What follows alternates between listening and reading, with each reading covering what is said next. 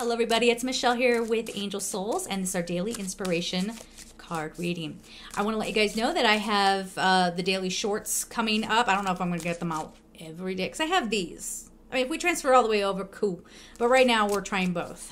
so there is that. Also, I am now teaching through the live events how to read oracle cards. I've been doing it for decades, and I can teach you as well. It'll be in three parts. You decide you know, if you want to do the beginner, intermediate, advanced, all three, it's up to you. Whatever you feel like doing, that is all in the description box below. And of course, oh, there's our card. if you want a reading, you can do a love reading, however you want to do that, career reading, just go to angelsouls444.com. Uh, the readings go in 30 minute segments. It's so funny because people are like, oh, I you just have 30 minutes available. I want an hour. So get two and leave it in your submission. That's how I put it there, or why I put it there, like to make sure you know you can go in those kind of time chunks. Okay, so that's what you're gonna do, and then we will take care of you. All right. So this is agate healthy body. So funny. Uh, you know when like messages like the angels are really coming at you with stuff. I spend a lot of my day sitting and you know I, I do hike but it's been wintry and icy and all of that and so i haven't really been working out as much as I do when the weather's nice. And uh, it was occurring to me like, ooh, I, I, I don't fit in these clothes very well, and they're stretchy.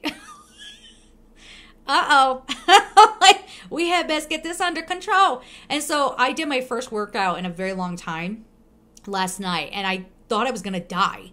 I thought, you know, when you're a little pukey and you, are lightheaded, I was like, oh, Lord, I gotta sit down what's going on right now. So obviously the wrong workout for me. But the whole point is that I realized just how much I had been neglecting my body. Now part of that too is stress.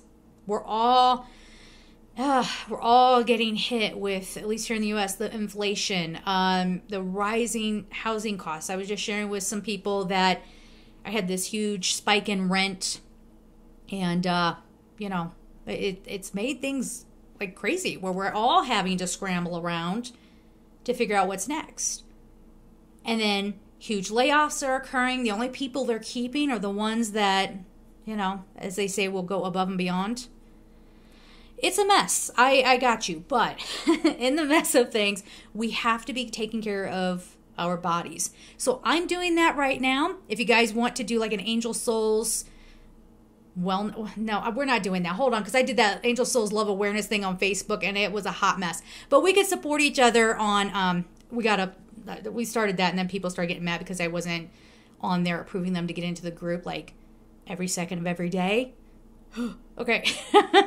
But i am going to start a workout routine. If we want to be a support to one another i would like that very much but we need to be taking care of what houses our soul. Okay? Let's leave it there. I'm sending you all so much love and take care